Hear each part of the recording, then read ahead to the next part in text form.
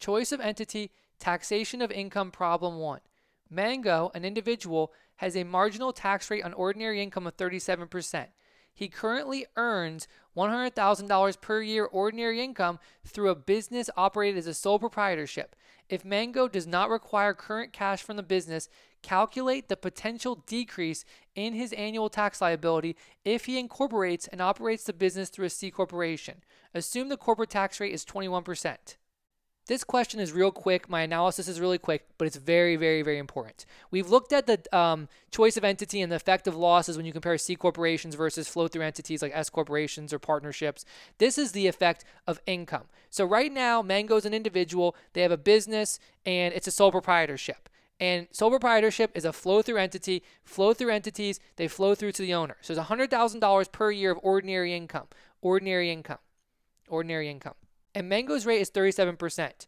Now, if Mango does not require any type of distribution, which you have to worry about the accumulated earnings tax, personal holding companies tax, all these different special rules in terms of retaining your earnings and not paying it out. And a lot of technology companies, they've run into these issues, but it's possible to do it. You can have plans, you can do certain things, you can make sure that, ensure that you don't get hit with a um, accumulated earnings tax. Basically, avoiding the second level of taxation. What if they what if Mango op- changed to a C corporation is the, is the issue here. So all we're going to do here is, and I can show you this multiple ways. $100,000 per year is the is the profit or income received. If we multiply that by the 37% tax rate, which is what Mango Mango's tax rate, we have $37,000 in taxes. $37,000 in taxes, and that is if we continue being a sole proprietorship.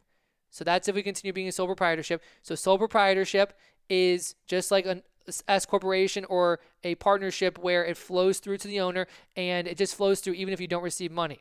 Now, if we switch over to a C corporation and the tax rate, as we're told in the problem, is 21%, we take the $100,000 profit, we multiply it by our 21% rate, and we owe $21,000 in taxes. $21,000 in taxes. Now, of course, you can see $21,000 is a lot less than $37,000. You prefer to be a C corporation. Of course, there's a lot more issues to consider here. The effects of losses, we don't have any losses, but if we did have losses, that could be an effect, and we saw that in different problems, how that plays out. We also have to consider, again, um, distributions when they're made. There's going to be another level of taxation for C corporations, but there's no plans to do that. And again, let's assume here that they can that Mango can do this without without hitting the accumulated earnings tax or any type of tax that you're penalized um, not distributing out your earnings. The idea here is if you take the difference between these two numbers, between the 21,000 and the 37,000, there's a $16,000 tax savings by being a C corporation. Now, the rates could change in the future. That's another thing. There's all sorts of other issues to worry about being a C corporation. And again, that double taxation, that second level of taxation, that's a huge one. That's a huge issue to consider. That's a huge issue to consider. Another way to calculate this, maybe a different way, because I like to show different approaches, all you had to do was just take the $100,000 amount and multiply that between or by the difference in the 37% rate, which is our sole proprietorship rate, minus our 21% rate, which is our corporate rate, and you're going to get 16%.